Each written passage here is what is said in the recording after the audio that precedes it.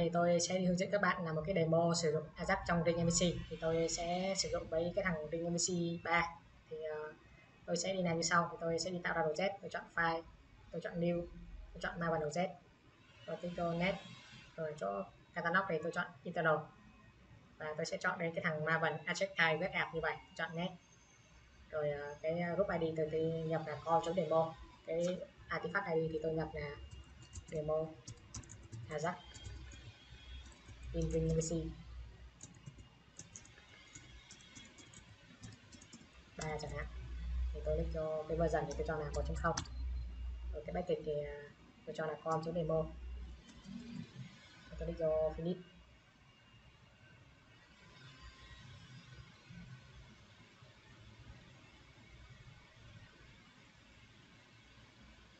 rồi, nó tạo ra cái đồ cho tôi như vậy thì hiện giờ nó đang báo lỗi báo lỗi là do tôi à, chưa thêm cho nó mấy cái dependency thì tôi sẽ đi thêm cho nó các dependency và cái cho form. Rồi đầu tiên thì tôi sẽ cho nó một cái thẻ property để định nghĩa mấy cái version. Tôi sẽ khai báo như sau. Thì tôi sẽ copy chỗ này. Tôi sẽ khai báo mấy cái property như sau. Đó, thì cái property này tôi sẽ định nghĩa mấy cái version của mấy cái thư viện mà chúng, mấy cái dependency mà chúng ta sẽ sử dụng, như là ring này. Slash, GP, GSPL đây. Rồi tiếp tục thì ở bên dưới này tôi sẽ thêm cho nó các dependency thì đầu tiên thì tôi sẽ đi thêm cho nó mấy cái dependency của thằng ring framework đây tôi sẽ copy ở đây vô.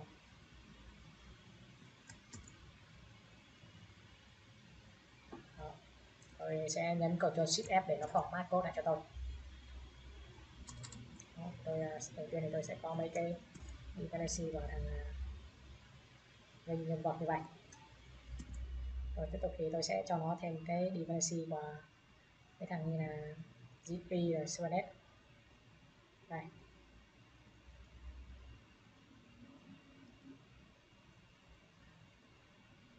Rồi tôi cũng nhấn Ctrl F để nó format code lại như vậy. Đó thì tôi sẽ thêm cho nó cái à, dependency, của Kubernetes và gp như vậy. Rồi tiếp tục thì uh, tôi thêm cho nó cái dependency GPL và cái thằng à, uh, section uh, à, mapper như vậy.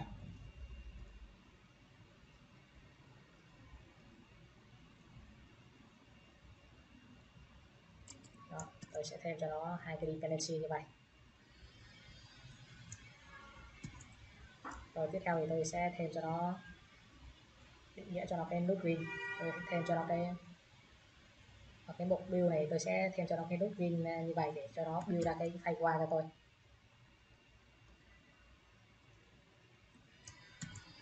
Thì tôi sẽ sử dụng cái xuồng là 1.8 tại kèm 1.8 thì à, cái GDK trong máy của tôi là 1.8 nên là tôi sẽ xài như vậy. Đó, tôi sẽ thêm cho nó cái nút win như vậy.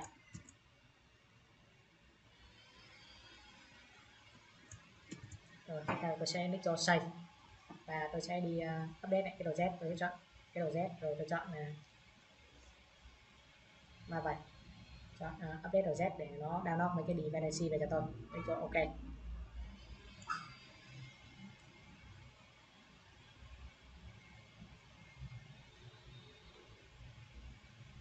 Rồi nó đã download mấy cái dependency cho tôi thì tôi sẽ đi vô cái mục à, uh, Java Resource này Navigate này. Đây thì click vô cái Maven dependency thì phải thay mấy cái à, uh, dependency của nó như vậy.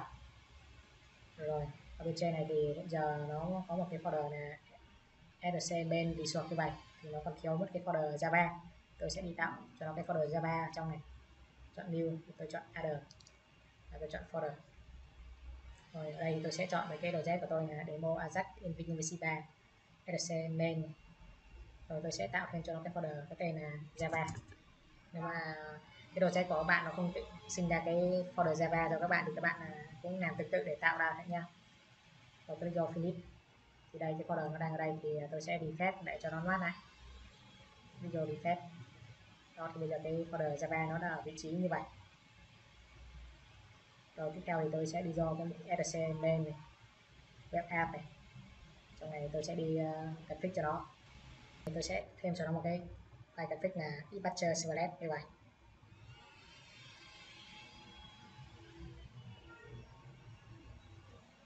À, cái thẻ bi này tôi sẽ bỏ đi.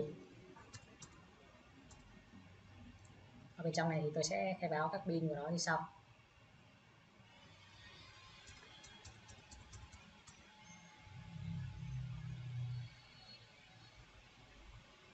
Đó, thì tôi sẽ có mấy cái ờ, thẻ contact component can mấy cái kịch là con demo thì cái basic con cho demo là cái basic basic root của tôi rồi tôi có cái pin là NVC Ribbon khai báo như vậy để mà nó sử dụng được à, annotation trong cái ứng dụng pin của tôi. Rồi tôi có cái pin là bằng Visual Server để định nghĩa mấy cái à, nơi mà chứa các file zip của tôi. Rồi tiếp theo thì tôi sẽ đi à, uh, config cho cái file web XML này. Tôi sẽ config từ sau. Tôi sẽ copy ở đây. Tôi sẽ à, tag nó đây thì tôi sẽ config nó như sau. Đó.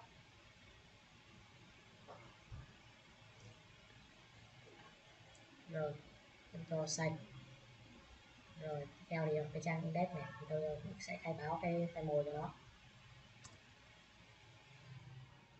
Ở trong cái trang index.jp này thì à, tôi sẽ khai báo cái à, file mồi. Thì tôi sẽ cho nó forward về cái trang là ajax.html thì cái trang mà tôi muốn à, nó tạt ban đầu khi mà chương trình mới mát lên thì tôi sẽ cho nó mát cái trang là ajax.html cái tức là đây là cái trang chủ của tôi. Rồi tiếp theo thì trong cái folder main java này tôi sẽ tạo ra một cái package là com.demo.controller rồi tôi cho finish rồi trong package này tôi sẽ tạo ra một cái controller là ajax controller. Rồi tôi cho finish rồi bên trong này tôi sẽ đi à, thêm cho nó mấy cái à, annotation để khai báo. Như sau, đầu tiên này tôi sẽ có annotation là controller rồi, tiếp theo thì tôi có cái account request mapping. Rồi, cho cái value là bằng. Ajax rồi tôi sẽ thêm import cho nó. Rồi tiếp tục thì bên dưới này tôi sẽ cũng khai báo một cái phương thức là public string index thì tôi sẽ đi tên về cái trang mặc định ban đầu ở đây.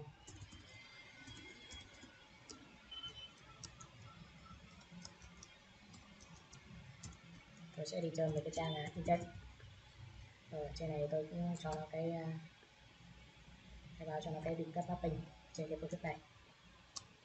Thì tôi sẽ cho nó cái thuộc tính là method là bằng định cấp method. Chấm get như vậy. Ở trong cái for ở web VMS này thì tôi sẽ tạo ra một cái folder là gp để chứa các trang gp của tôi. Rồi, ở trong folder gp này thì tôi sẽ đi tạo ra cái trang index. Gp rồi sẽ bỏ cái thẻ doctile này đi, vì cái thẻ doctile này có thằng html4 ta không cần sử dụng nó nữa. Rồi ở bên trên này tôi sẽ thêm cho nó cái thuộc tính là email iCloud bằng font thì tôi thêm cho cái thuộc tính này thì nó mới sử dụng được mấy cái thẻ uh, à, như là GSTL ở trong này. Đó, rồi tiếp theo thì ở đây tôi sẽ có cái thẻ H1 à, tôi sẽ có đấy thêm cho nó cái nội dung là demo using Ajax link link MVC 3 rồi tôi cho save. Rồi theo theo thì tôi sẽ đi uh, đi vào cái vừa qua tôi sẽ chọn logo Z rồi tôi chọn show in terminal. Đây thì tôi sẽ có lệnh là npm min install để mà nó view ra cái vừa qua cho tôi.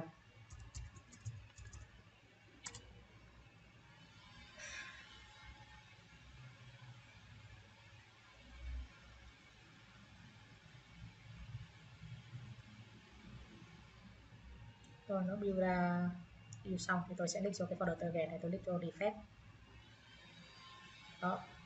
Thì bây giờ nó ra phát sinh ra cho tôi cái công qua như vậy là tôi sẽ đi deploy nó và tôi sẽ chọn cái project. Tôi chọn run app. Và tôi sẽ run on server. Tôi sẽ deploy lên, lên cái server tomcat tôi được cho net.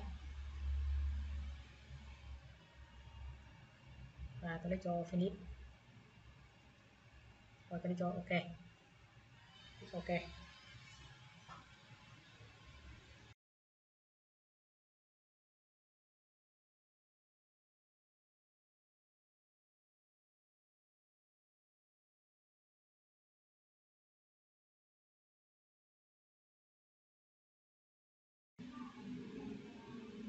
Đó, thì bây giờ cái trang à, ban đầu nó lên cho tôi như vậy. Đó.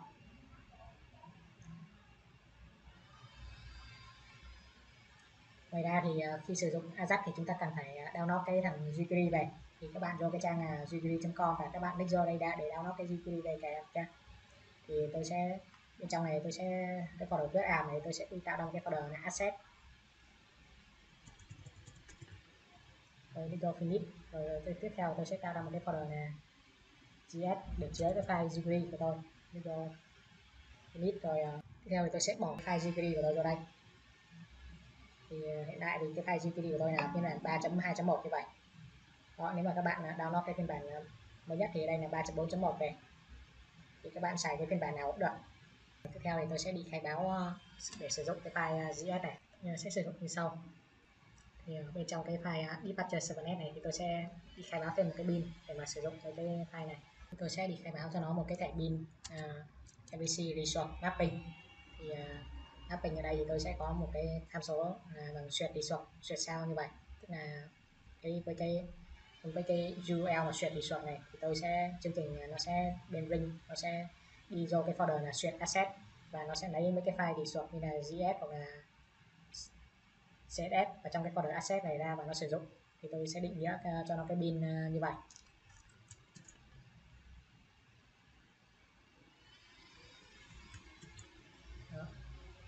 Đánh cho xanh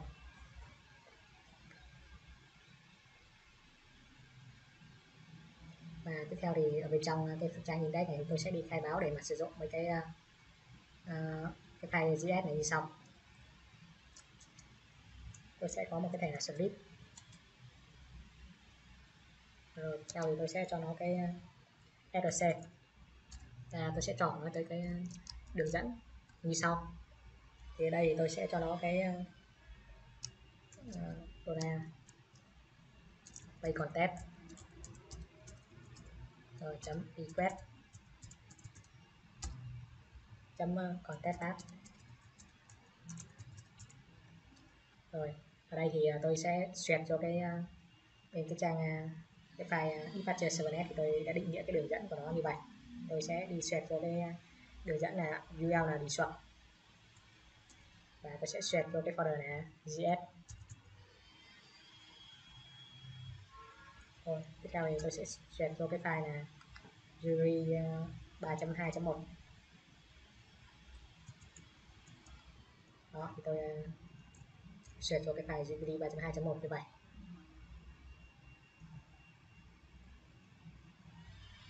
Đó thì các bạn ờ, nên sử dụng khai báo mấy cái cái à, file cái folder resource của các bạn thì các bạn nên định nghĩa nó ở trong này. Đó, thì khi mà các bạn khai báo như vậy thì các bạn sẽ với cái URL như vậy thì nó sẽ ẩn được cái à, cái folder thực sự của các bạn. Ví dụ như các bạn mà khai báo asset ở đây thay vì các bạn là sử dụng uh, trực tiếp cái cái folder asset ở đây á, thì cái URL là asset ở đây thì khi mà các bạn uh, up lên host thì nó sẽ không có hiểu được đâu. Đó. Ờ, uh, local thì các bạn sử dụng ờ, cái asset ở chỗ cái resort này thì nó hiểu được nhưng mà khi các bạn lên host thì nó không có hiểu được. Vậy vì vậy các bạn nên ờ, định nghĩa cái file cái bin là MVC resource mapping như vậy. Và cái lợi ích của cái này là nó sẽ giúp chúng ta ẩn được cái đường dẫn thực sự của của cái chương trình do cái for do cái folder asset này.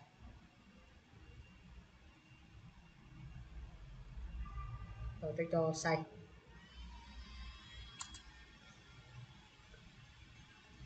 rồi tiếp theo thì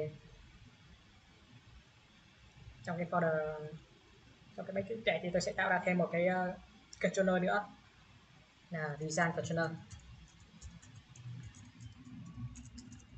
Và tôi sẽ cho finish tôi cũng ờ, copy mấy cái annotation ở bên này qua và tôi sửa cho nó nhanh. Rồi cái chỗ value này tôi sẽ sửa lại thành nào design.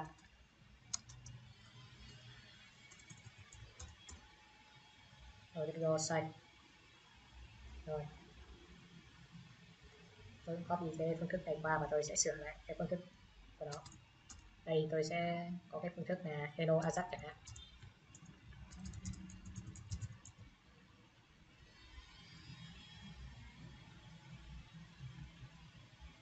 Rồi, đây, tôi sẽ thêm cho nó cái panel các bạn. Xuyên hello ajax và tôi sẽ tìm đơn về cái chuỗi này hello ajax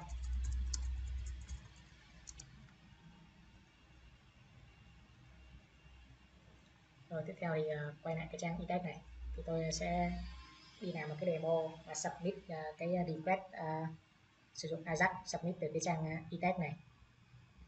Từ cái phương thức này hello Ajax này. Thì tôi lấy ra cái data là cái chuỗi hello Ajax tôi sẽ đi làm như sau. Rồi ở bên à, này thì tôi sẽ có một cái thẻ là BR đây rồi ở bên dưới này tôi sẽ có một cái thẻ form. À, bên trong thì tôi sẽ có một cái thẻ input.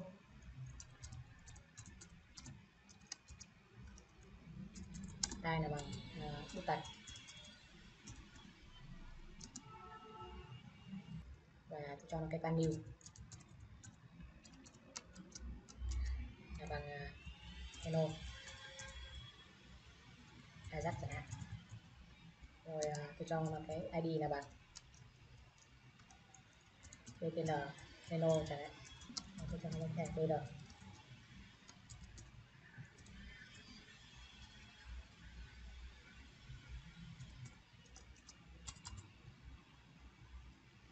rồi, ok bên dưới này tôi có một cái thẻ deep cái này tôi sẽ cho nó cái class là bằng design.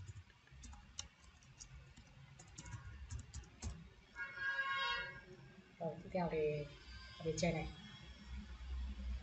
Tôi sẽ đi viết uh, để vào gửi cái request Ajax tới giờ server thì đầu tiên thì tôi cũng à, khai báo cái thẻ script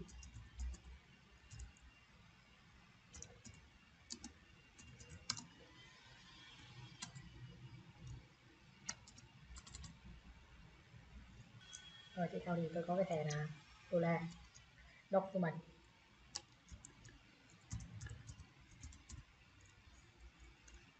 Rồi chấm edit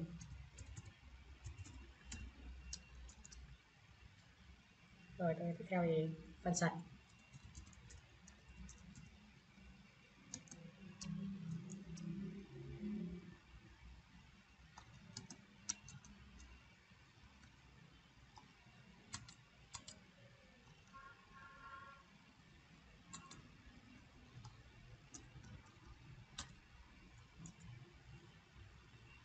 Rồi tiếp theo thì bên trong này thì tôi sẽ đô la.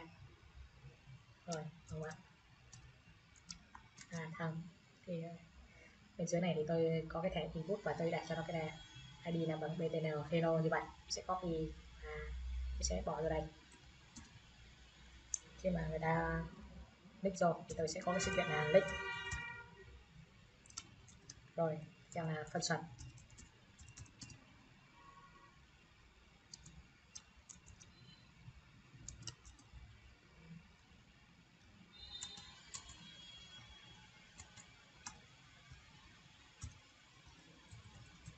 rồi bên trong thì tôi sẽ có cái đô la chấm ajax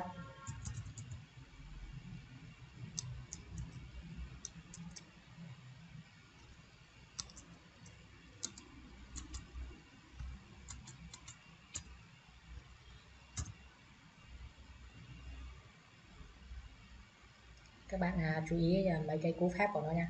Nếu mà các bạn sai cú pháp thì à, nó bị lỗi ví dụ như các bạn à, thiếu một cái dấu chấm phẩy thôi là nó có thể bị lỗi và nó không submit được cái request trong server đâu. Theo thì tôi có cái attribute là type à, tôi sẽ type của nó thì tôi sẽ cho là get. Và tôi sẽ có cái url. À, hai chấm.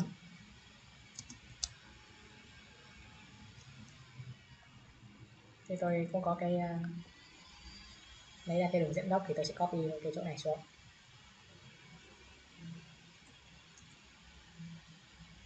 Và tôi sẽ xuyệt cho cái folder ờ, đường dẫn video này là design và tôi đã định nghĩa cho cái, ờ, cái chỗ này. Rồi. Tiếp theo thì tôi sẽ xuyệt cho cái uh, này này hello ajax ở đây. Rồi chấm html rồi tiếp theo thì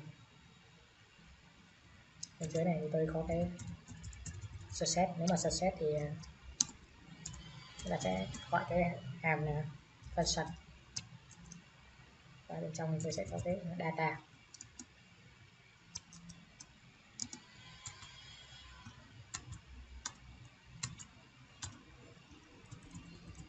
Rồi tôi có cái là đô la. Tôi sẽ chấm. Thì ở bên dưới này tôi đã đặt cho cái cái ít, có cái class là design như vậy. Tôi sẽ sử dụng à, dấu chấm để mà gọi cái class là design. Và tôi sẽ gọi cái phương thức là chấm html.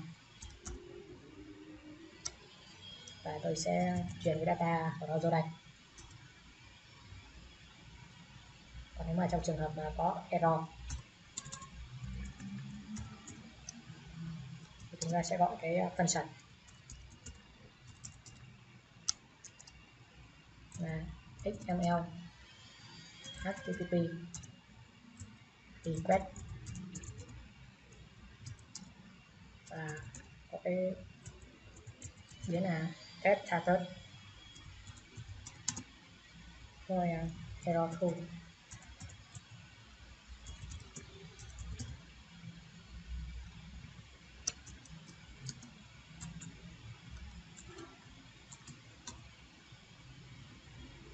Tôi sẽ có cái,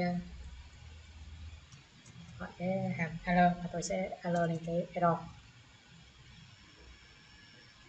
Thì tôi à, sẽ cho nó cái error. Sẽ processing gì đó. Cộng cái lại à, cái biến là xml http request chấm chu trình tôi in ra cái lỗi.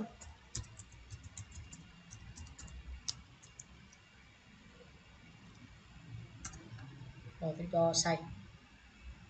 Rồi tiếp theo thì tôi sẽ đi xóa cái hộp qua này đi và tôi sẽ đi build lại cái hộp qua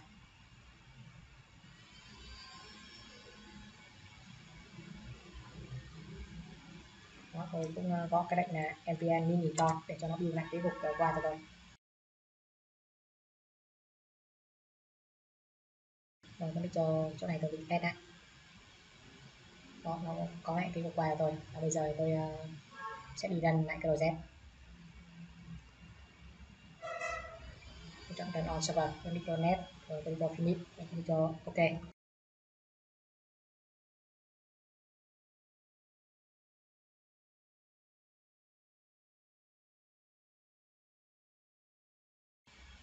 Đó. thì cái trang giao diện bây giờ nó có cái button Ajax như vậy, và tôi cho Fino cái design nó chưa sâu này. Thì à, nó bị lỗi thì tôi à, kiểm tra lại. Thì ở bên cái ờ, cho cái phương thức này tôi còn thiếu mất cái annotation cho nó là account default body. Tôi phải thêm cho nó cái default body nữa, thì nó mới được. Rồi tôi cũng uh, import cái phương thức uh, cái annotation này rồi. Rồi tôi cho sạch. Rồi tôi cũng uh, đi build lại cái đầu z.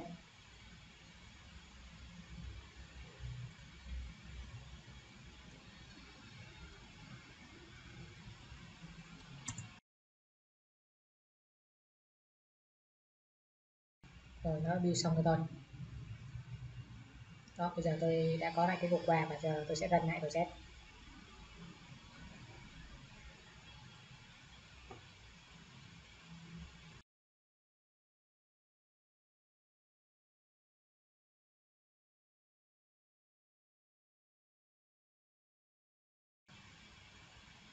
rồi nó run lại project của tôi và tích rồi thì nó vẫn chưa sâu ra thì chắc là nó bị lỗi gì đó tôi sẽ đi kiểm tra lại.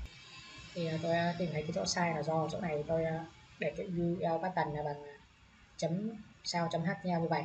Thì ra là nó bị khi mà các bạn mà đã khai báo sử dụng cái uh, resort mapping như vậy thì ở bên trong này thì các bạn nên để lại cho nó là dấu xuyệt thôi tôi đi cho save và tôi sẽ đi build lại đồ z.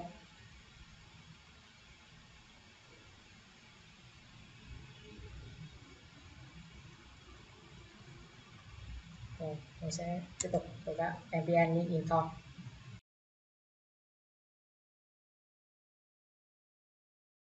nó đã build xong rồi tôi. Click cho refresh đó thì nó đã có lại cái cục bài tôi bây giờ tôi sẽ đi run rồi reset, click cho run app run server. Click cho net. Click cho finish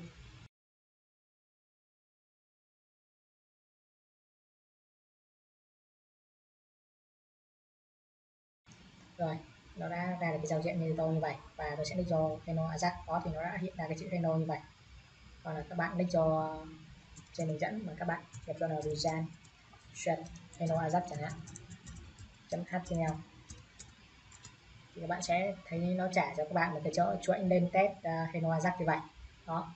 Như vậy là chúng ta đã làm được cái demo đầu tiên với Ajax tiếp theo thì tôi sẽ làm mấy cái demo khác như sau theo thì tôi sẽ làm với um, một cái phương thức ờ, uh, ở dạng bot.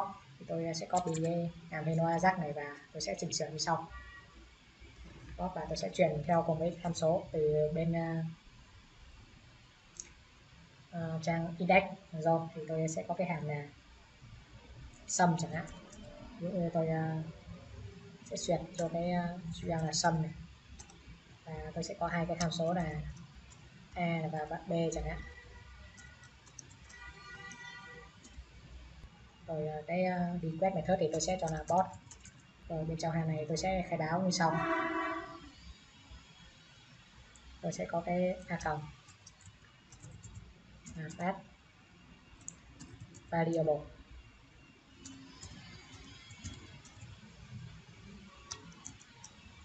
Và tôi sẽ cho nó cái attribute là value là bằng a.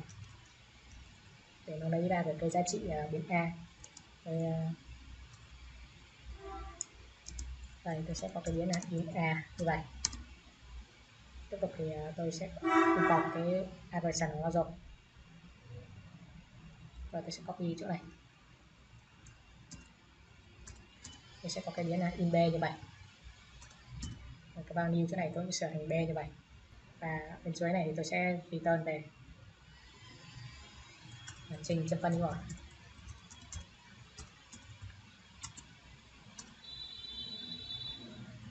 a cộng b. Vậy rồi tiếp theo thì ở bên trang này tôi ờ, cũng ờ, tạo thêm một cái button nữa. Đây tôi sẽ tạo thêm một cái copy cái này input này xuống.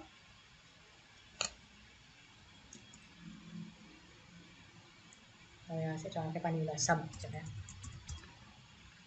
À, chỗ này tôi sẽ đặt cho nó cái id là btn sum.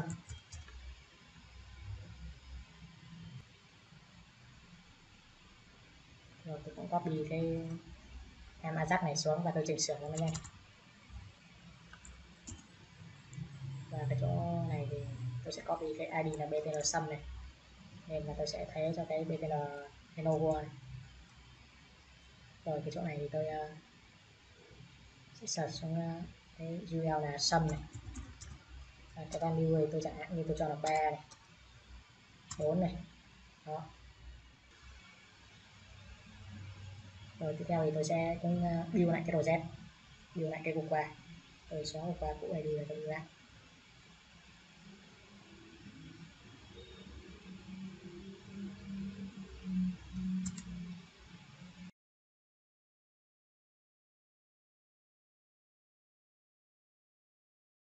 Lại rồi, tôi đi test lại.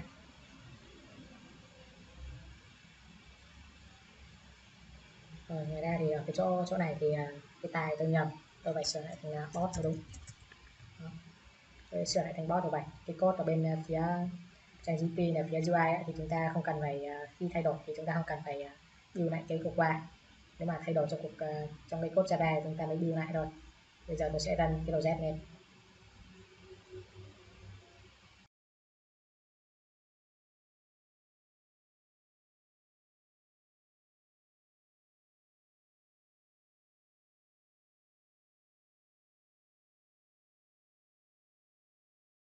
Rồi tôi sẽ click vào cái button sum. Đó, thì nó show ra cái cái design cho cái cài là 7 như vậy. Thế là nó đúng rồi.